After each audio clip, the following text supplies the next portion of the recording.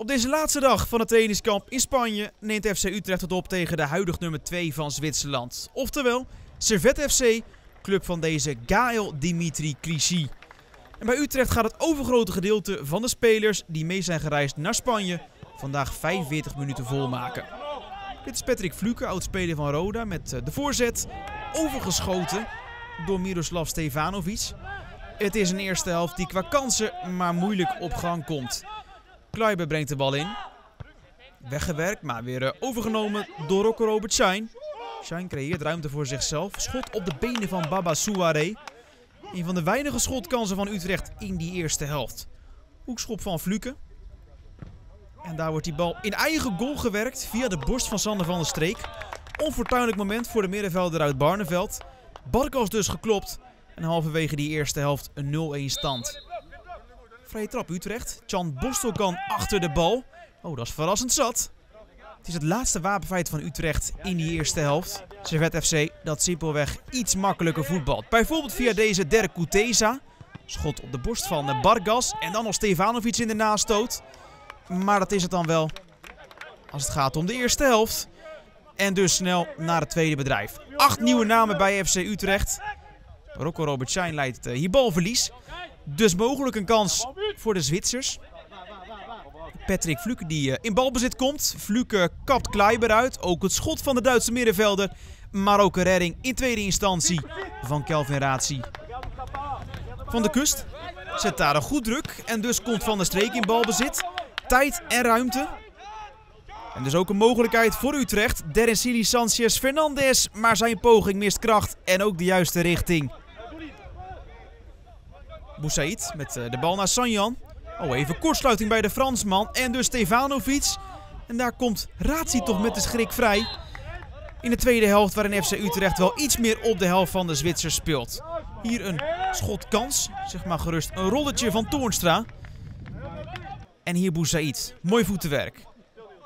En nu Toornstra met een geweldige opening. Wat een prachtpaas. Ter Aves legt hem dan breed. En dan is het enige waar het aan ontbreekt het eindstation. Maar wat een wereldpaas van Toornstra zeg. Architect op het middenveld bij de FC. Sagre gaat op avontuur, heeft de bal nog altijd. Ter Avest. Maar wederom is het enige waar het aan ontbreekt het eindstation. Zitten we inmiddels in de slotfase van de wedstrijd. Utrecht even met 10 man. Kluivert namelijk geblesseerd uitgevallen. Boussaïd besluit toch druk te zetten. Dat is heel zinvol. Sterker nog, daar komt in de dying seconds toch nog een kans aan voor Utrecht. Iets te diep gespeeld van Redan. Toornstra vindt dan geen teamgenoot.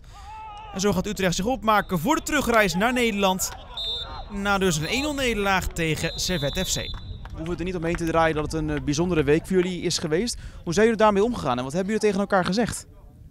Uh, ja, het was zeker een, een, een, een, ja, een gekke week, een lastige week. En uh, ja, we hebben vooral tegen elkaar gezegd dat het op dit trainingskamp toch ja, vooral de arbeid ging. En ik denk dat we ja, op een zo hoog mogelijke intensiteit hebben getraind. En, en echt de focus op het voetbal te houden, al is dat natuurlijk ook wel lastig in zo'n situatie. Maar, maar goed, dat is het enige wat wij kunnen doen.